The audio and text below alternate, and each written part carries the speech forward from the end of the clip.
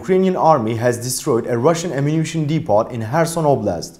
19 Russian soldiers were killed. According to Alexander Zavitnevych, the head of the Verkhovna Rada Committee on National Security and Defense, Ukrainian defenders have destroyed two Russian ammunition depots in Kherson Oblast.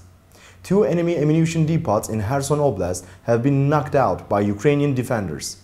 According to Zavitnevych, the Ukrainian armed forces killed 19 Russian soldiers as well as a mobile satellite communication station, an anti-tank missile system, two vehicles and field depots in Chornobaivka and Beryslav. To reach all actual news fast and reliable worldwide, please don't forget to follow and like us.